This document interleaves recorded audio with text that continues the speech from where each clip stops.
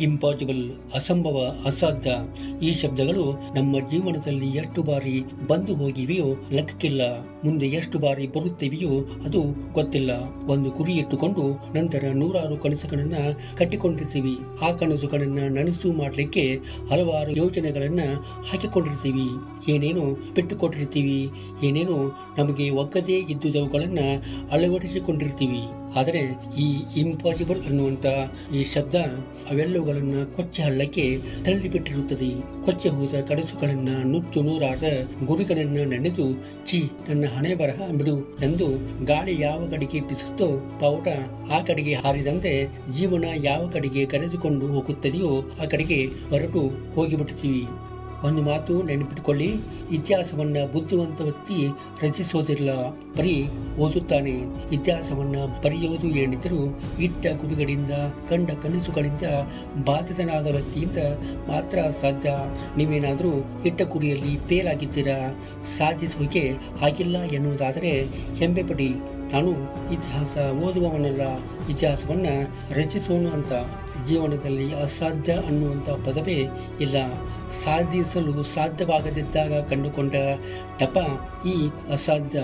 ಅಸಾಧ್ಯ ಪದಕ್ಕೆ ಅರ್ಥವೇ ಇಲ್ಲ ಅಂತ ನೀಲ್ ಆರ್ಮ್ಸ್ಟಾಂಗ್ ಮತ್ತು ರೈಟ್ ಸಹೋದರರು ತೋರಿಸಿ ಕೊಟ್ಟಿದ್ದಾರೆ ಸಾಧಿಸಿ ತೋರಿಸುವವರೆಗೂ ಮಾಡಬೇಕಾದ ಕೆಲಸ ಅಸಾಧ್ಯನೇ ಈಗಲೇ. ಈಗಲೇ ಇಂಪಾಸಿಬಲ್ ಅನ್ನುವ ಪದವನ್ನು ನಿಮ್ಮ ತಲೆಯಿಂದ ತೆಗೆದುಹಾಕಿ. ಅದು ಎಲ್ಲಿವರೆಗೆ ನಿಮ್ಮ ಜೊತೆ ಇರುತ್ತದೆಯೋ ಅಲ್ಲಿವರೆಗೆ ನೀವು ಸಾಧಿಸಲು ಸಾಧ್ಯವಿಲ್ಲ. ನಿಮ್ಮೊಳಗೆ ನೀವು ವಿಶ್ವಾಸ ಇಡಬೇಕು. ನಿಮ್ಮನ್ನು ನೀವು ನಂಬಬೇಕು ಮೊದಲು. ಈಗಾಗಲೇ ಸಾಧನೆ ಮಾಡಿದವರೆಲ್ಲ ದೈವ ಪುರುಷರಲ್ಲ, ಅವರು ನಮ್ಮಂತೆ ಮನುಷ್ಯರೇ. ಅವರು ತಾವು ಹಿಡಿದ ಕೆಲಸದಲ್ಲಿ ಸಫಲರಾಗಿ ಹೊರಹೊಮ್ಮಕ್ಕೆ ತಮ್ಮೊಳಗೆ ತಾವು ನಂಬಿಕೆ ಇಟ್ಟಿದ್ದೇ ಕಾರಣ.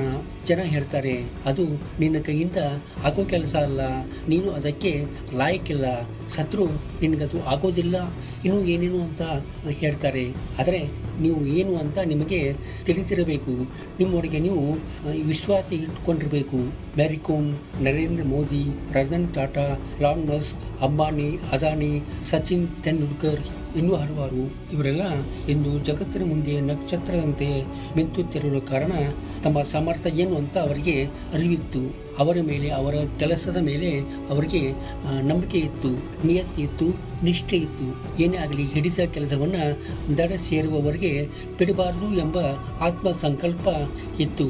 ಹೀಗಾಗಿ ಅವರು ಇಂದು ಜಗತ್ತಿಗೆ ಒಂದು ಮಾದರಿ ನಾವು ಒಂದು ಗುರಿಯನ್ನ ಇಟ್ಟುಕೊಂಡಿರ್ತೀವಿ. ಹೀಗೆ ಮಾಡಬೇಕು, ಹಾಗೆ ಮಾಡಬೇಕು ಅಂತೆಲ್ಲ ಅಂದುಕೊಂಡಿರ್ತೀವಿ ಆದರೆ ಅದು ಕೆಲವೊಂದು ಸಮಯದವರೆಗೆ ಮಾತ್ರ. ನಂತರ ನಾವು ಇಟ್ಟುಕೊಂಡ ಗುರಿಯಾಗಲಿ ಹಾಕಿಕೊಂಡ ಯೋಜನೆ ಆಗಲಿ ನೆನಪೇ ಇರುವುದಿಲ್ಲ. ಇದ್ದರೂ ಮಾಡಬೇಕು ಎನ್ನುವ ಸಂಕಲ್ಪ ಮೊದಲಿನಂತೆ ಇರುವುದಿಲ್ಲ. ನಾವು ಆರಂಭ ಶೂರತ್ವವನ್ನು ತೋರಿಸಿರ್ತೀವಿ. ಕೊನೆವರೆಗೂ ಆ ಸಂಕಲ್ಪ ಮೊದಲಿನಂತೆ ಇದ್ದರೆ ನಾ ಈಗಲೇ ಬರೆದು ಕೊಡ್ತೀನಿ.